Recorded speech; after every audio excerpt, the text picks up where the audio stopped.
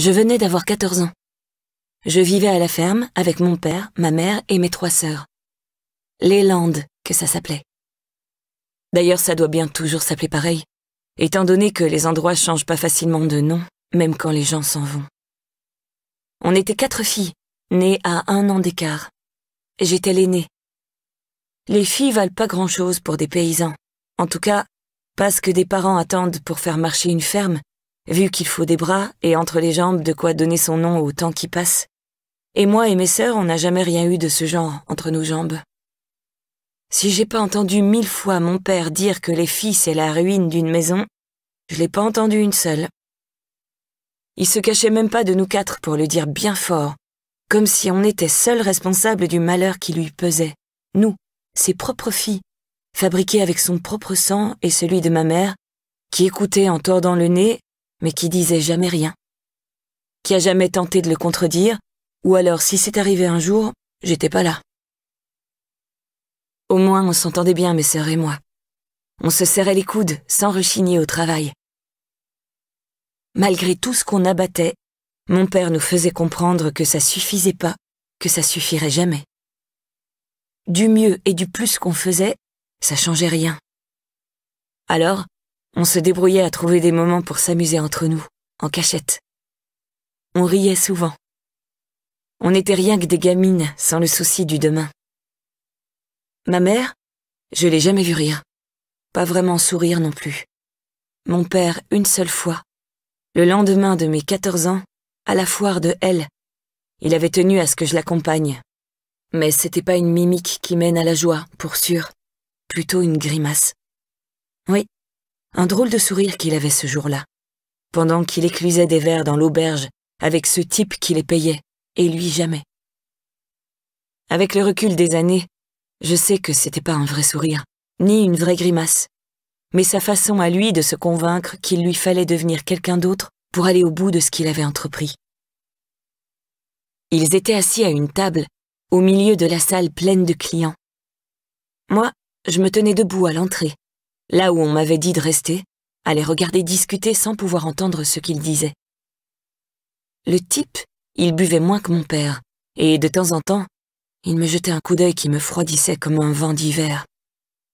Il était gros et large, visiblement un peu plus jeune que mon père, avec des habits pas comme nous autres, pas coupés pareil, et pas faits du même tissu, de ceux qui coûtent autrement cher. Je me suis demandé comment mon père pouvait connaître quelqu'un comme ça. Au fur et à mesure qu'il parlait, je voyais bien que la conversation prenait une drôle de tournure. Le visage de mon père se refermait de partout, et il a fini par devenir aussi grave que celui du type. J'ai compris plus tard qu'ils étaient en train de marchander, et que c'était pas simple d'arriver à un accord, vu que personne voulait lâcher le morceau. Je le savais pas encore, mais le morceau en question, c'était moi. Le gros type s'est énervé. Il a voulu se lever pour partir, mais mon père l'a attrapé par le bras, même que ça a pas eu l'air de lui plaire, et mon père l'a relâché de suite. Le type s'est quand même rassis. Mon père a hoché la tête, ils ont topé, et une bourse a changé de main en douce, et aussi un baluchon, dans l'autre sens. Le type avait l'air pressé d'en finir. Il a attrapé le baluchon avec dégoût, et mon père a fourré la bourse dans sa veste. J'ai pas eu l'impression qu'elle était bien garnie. Mon père m'a regardé d'un air sévère. Je savais pas bien s'il m'en voulait d'une chose ou s'il voulait s'excuser d'une autre. Je comprenais pas ce qu'il y avait dans ce foutu regard que je lui connaissais pas plus que le sourire d'avant. Aujourd'hui, je le sais. Et puis il a baissé les yeux. Le type s'est approché de moi en me tendant le baluchon. Son gros ventre, gonflé comme celui d'une vache prête à véler, débordait de son pantalon. D'une voix pas aimable, il m'a dit à l'oreille de le suivre, qu'il avait quelque chose à me montrer, que mon père et lui venaient de s'entendre là-dessus.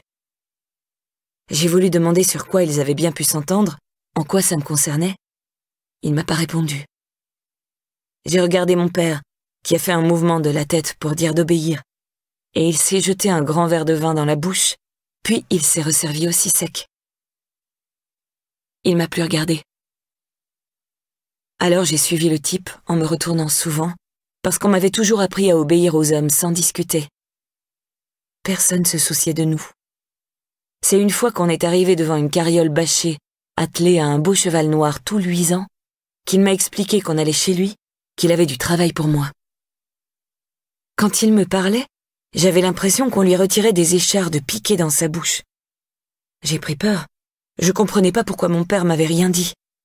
Je voulais pas suivre l'inconnu. Je savais même pas encore qu'il venait de m'acheter.